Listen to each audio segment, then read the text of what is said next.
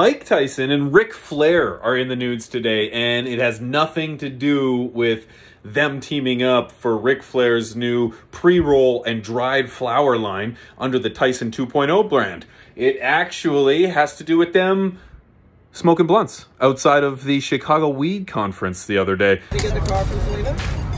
Ric Flair drip, Hang on, you're the woman right here. Mike Tyson Hang on, 2.0, go woo on a bitch. Woo?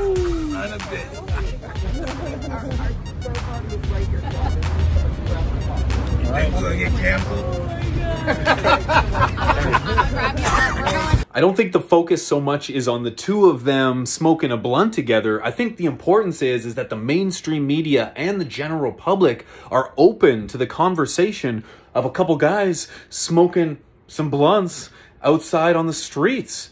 And, you know, it particularly helps when it's